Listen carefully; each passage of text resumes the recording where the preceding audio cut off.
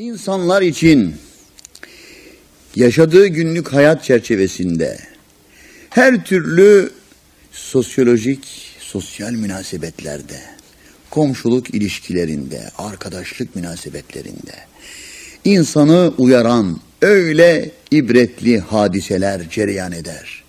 Öyle insan için ders verici olaylar gözünün önünden gelip geçer ki ama insan eğer Allah onun kalbini ve gönlünü, Cenab-ı Hak onun yaratılışında, fıtratında mevcut olan bir takım kabiliyetleri bu uyaran, uyarıcı tesirlere açmazsa Cenab-ı Hak insan bütün bunlardan hiç istifade etmez. Nitekim cemiyette görülmektedir. Nice ibretli olaylarla karşılaştıkları halde akıllarını başına almayan, bir türlü hak ve hidayeti bulmayan nice insanlar görülmüştür tarih boyunca. Günümüzde de böyle insanların mevcudiyetini hep müşahede ediyor ve görüyoruz elbette ki. Bakın ayeti kerimede Cenab-ı Hak buyuruyor ki Euzubillahimineşşeytanirracim Bismillahirrahmanirrahim Efemen şerahallahu sadrahu lil islami fehuve ala nurim min rabbih feveylun lil kasiyeti kulubuhum min zikrillah ulaike fi dalalin mübin ayet-i kerimede bakın Cenab-ı Hak buyuruyor ki ya yine bu ayet-i kerimede yine bir hazif söz konusu. Ayet-i kerimede Cenab-ı Hak Efemen şerahallahu sadrahu lil İslam. Allah'ın gönlünü İslam'a açtığı, gönlünü ve göğsünü İslam'a açtığı kimse kimse midir manasında.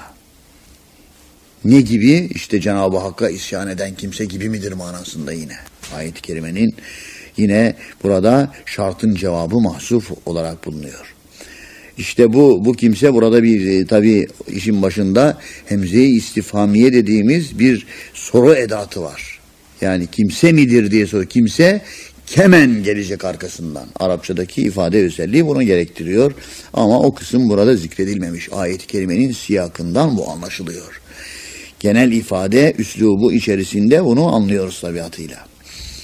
Fehuve ala nurin min min Rabbi. İşte bu kimse Allah'ın gönlünü İslam'a açtığı, İslamiyet'in bildirdiği gerçekleri anlama kabiliyet ve temayülü verdiği kimseler var ya, onlar Rabları katından o kimse Rabbı tarafından bir nur ve bir aydınlığa kavuşturulmuştur o. Ya Cenab-ı Hakk'ın bir ihsanıdır bu işte.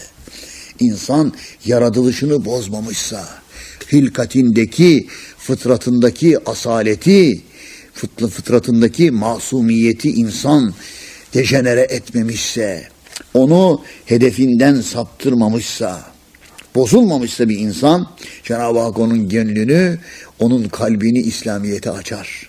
allah Teala'nın gönlünü İslamiyet'e açtığı kimseyle elbette ki Allah'ın dalalete sevk ettiği kimse bir değildir. Ayet-i kerimeden çıkarılan mana bu oluyor aslında. Feveylun lil kasiyeti kulubuhum min zikrillah. Yazıklar olsun. Feveylün aslında veil kelimesi Arapçada yazıklar olsun esef ifade ediyor. Yani üzüntü bildiriyor. Karşımızdaki insana muhataba, karşımızdaki insana söylediğimiz teessüf ifadesi, teessüf ederim diyoruz ya, üzgün, üzüntümü belirtirim. Ne kadar üzüldüm manasına ama veil kelimesi aslında bir azap kelimesidir. Cehennemde korkunç bir derenin isminin de veil olduğu zikredilmektedir hadis-i şeriflerde. Bu bakımdan burada feveylün yazıklar olsun manasına geldiği gibi aynı zamanda onlar böyle korkunç bir azaba da müstahak oldular, oldular manasına da geliyor. Lil kasiyeti kulubuhum ya kalpleri katılaşmış olan kasavet dediğimiz, kasveti kalbiye dediğimiz şey var ya, bir insanın kalbini ve gönlünün tamamen duygusuzlaşması, onun rikkatini, inceliğini, hassasiyetini yitirmesi, kalbin taşlaşması manasında. Ya Allahü Teala nitekim bir ayet-i kerimede de onların kalpleri taş gibi katıdır buyuruyor. Hatta daha da katı. Ya daha da katı buyuruluyor ayet-i kerimede. Kas, kasvet veya kasavet kelimesi hani de biz Türkçe'de kullanıyoruz içime kasavet çöktü deriz. Yani bir karanlık çöktü. İçim daraldı, ruhum bunaldı manasına geliyor. İşte aslında e, kasiye kelimesi kalbi katılaşmış. Kasiyeti kulubuhum kalpleri katılaşmış. Her türlü ince anlayıştan, her türlü duygudan, her türlü e, böyle insana dışarıdan ve içeriden gelen tesirlere cevap vermez hale gelmiş. Canlılığını ve hassasiyetini yitirmiş olan kalpler kasiye. Min zikrillah Allah'ın zikrinden Allah'ı anmaktan nasibi kesilmiş olan kalplere yazıklar olsun buyuruyor. Bir kalp ki Allah'ı anlıyor Cenab-ı Hakk'ı zikretmiyor. allah Teala'nın büyüklüğünü, azametini, kudretini tefekkür etmiyor. Bunun bunun zevkine, manevi hazzına ulaşmamış. İşte böyle kalplere yasıklar olsun buyuruyor Cenab-ı Hak. Kasa, kasveti kalbiye işte Allah korusun.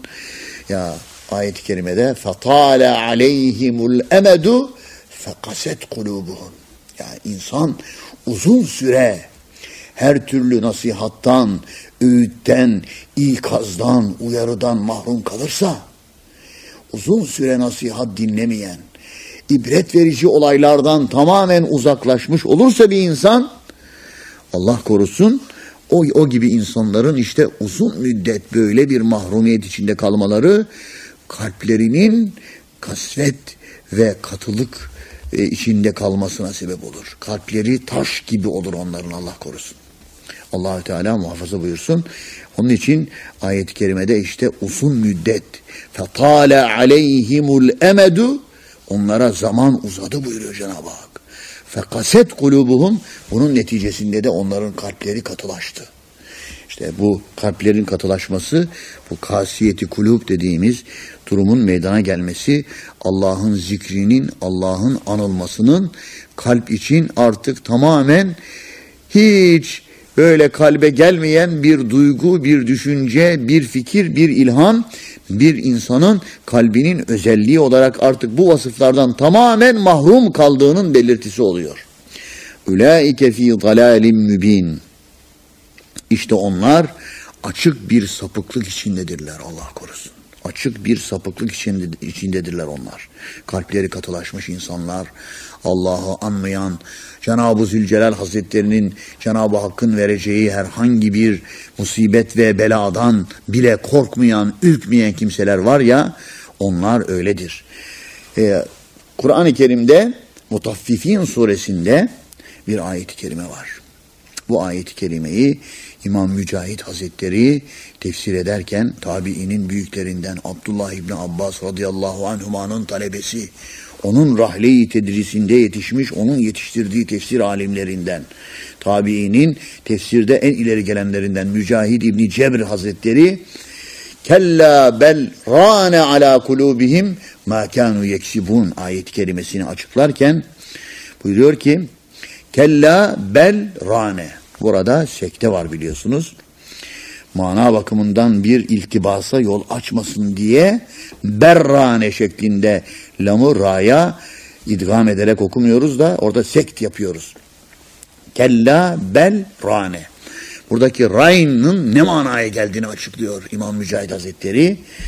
Bu rayının insanın kalbi üzerinde, insanın e, gönlü üzerinde bir tabaka, bir hakimiyet tesisi manasında.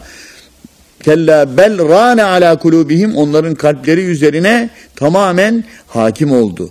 Ma kanu yeksibun yaptıkları kötü işler, kazandıkları ve onların iktisap ettikleri kötü ameller, kötü fiiller onların kalpleri üzerinde bir kötü tesir meydana getirdi. Kalplerini iyice sardı ve bürüdü. Onların zulmeti kalplerini örttü manasında. Burada bunu açıklarken İmam Mücahit Hazretleri buyuruyor ki insanın avucu bu avuç ayası dediğimiz kısım böyle avuç açıldığı zaman meydandadır, açıktadır. Ama diyor bu parmaklardan birisi bunun üzerine kapanırsa bu kısmen kapanmış olur. El ayası dediğimiz kısım kapanmış olur. Diğeri bunun üzerine kapanırsa ikinci parmak biraz daha Bunun sahası kapalı, kapanmış olur. Üçüncü kapanırsa öyle. Dördüncü ve beşinci pa- parmakla bu kapadığınız zaman artık tamamen bu e, avuç ayasını insanın avucunun içini görmeye imkan kalmaz o zaman o zaman diyor. İşte kalp de böyledir. İşlenen kötü fiiller insan kalbi üzerinde devamlı siyah noktalar meydana getirir. Bunlar çoğaldıkça kalbin böyle manevi tesirlere, feyze ve manevi telkinlere karşı artık kalbin alma gücü ve onları telakki etme, onlardan müteessir olma, etkilenme kabiliyeti kaybolur. Ve bu surette kalp iyice kararır. İşte bu kalbin kararması haline rayn denilir diyor İmam İmam Mücahit Hazretleri işte kasvet de budur işte. Kalpleri böyle kararıyor. Allahü Teala'nın başlangıçta peşinen verdiği bir ceza değil bu.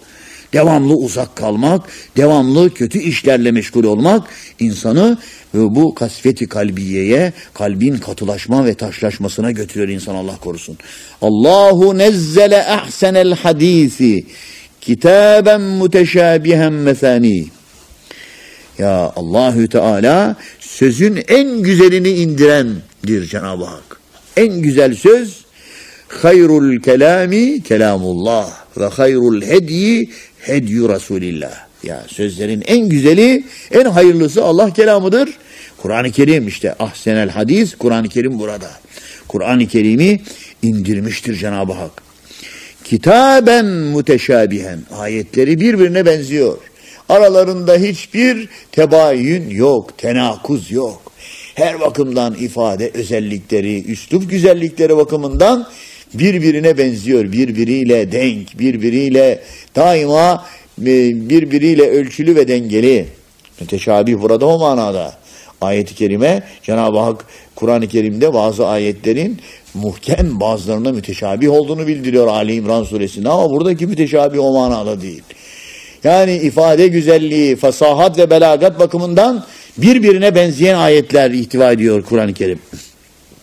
Mesani tekrarlanan demek, mükerrer manasında. Mesani kelimesi de devamlı tekrar tekerrür eden ayet-i kerimeler Cenab-ı Hak indirmiş ayet-i kerimeler olarak Kur'an-ı Kerim'i sözün en güzeli sıfatıyla indirmiştir. Takşairru minhul culudul lezine yakşavne rabbehum. Allah'tan, Rablarından korkan kimselerin derileri ürperir. Derileri ürperir Kur'an-ı Kerim'i dinledikleri zaman. Ya ikşi'rar, ikşa'arra yekşa'irru ikşa'iraran ürpermek, diken diken olmak tüyleri böyle. Kur'an-ı Kerim'i dinledikleri zaman. Öyle bir Rabbani tesiri vardır ki imanlı kimseler Kur'an-ı Kerim'i dinledikleri zaman Allah'tan korkanlar böyle ürperirler adeta. Ellerinde olmadan. Sümme telinu culuduhum sonra onların uzuvlarına, onların organlarına, onların e, dış görünüşlerine bir sükunet hali gelir ve kulubuhum kalpleri rahatlar, sükunet bulur. İla zikrillah Allah'ı anmaya yönelir. Zalike hudallahi yehdi bihi men yeşa. İşte Cenab-ı Hakk'ın dilediği kimselere ihsan ettiği bir hidayettir bu. Allahü Teala'nın Cenab-ı Hakk'ın verdiği bir nimettir. Cenab-ı Hakk'ın ihsan ettiği bir doğruyu bulma kabiliyetidir. Ve men yudlilillahu fema lehu min had. Kim ki Allahü Teala onu dalalete düşürmüştür, artık onu herhangi bir şekilde doğruya ve hidayete erdirecek hiçbir güç yoktur. Efemen yettaki bi vecihi su'el azabi yevmel kıyame Kıyamet gününde azabın kötüsünden varlığını koruyan kimse gibi midir? Bu şekilde hareket etmeyenler. Burada da bakın yine hazif var. Ve kıyle ve kıyle liz zalimine zuku ma kuntum teksibun. İşte orada zalimlere, kafirlere, inkarcılara yaptığı yapmakta olduğunuz işlerin cezasını şimdi tadın bakalım denir.